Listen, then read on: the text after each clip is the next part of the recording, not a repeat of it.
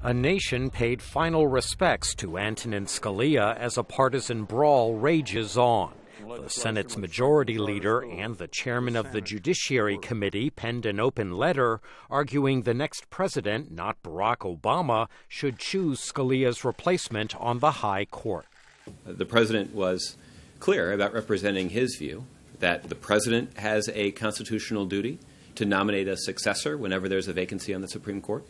And the Senate has a solemn constitutional duty to give that person a uh, fair hearing and a timely yes or no vote. Republicans insist while Obama may put forth a nominee, the Senate may withhold its consent and delay filling the vacancy until after the November presidential election.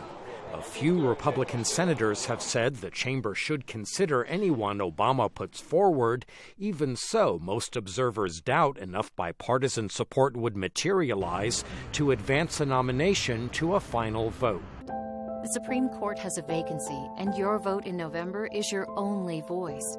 Already, interest groups are running ads on U.S. airwaves. You choose the next president. The next president chooses the next justice. That is not the way our Constitution works. The fight has become a central issue on the presidential campaign trail. When you hear Republicans say they will reject any justice that President Obama nominates, no matter how qualified. Well, my friends, let's remind, let's remind the Republicans.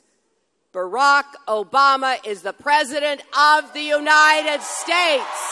This election will be a referendum on the Supreme Court. And I'll tell you this I cannot wait to stand on that debate stage with Hillary Clinton or Bernie Sanders or whatever other socialist they nominate.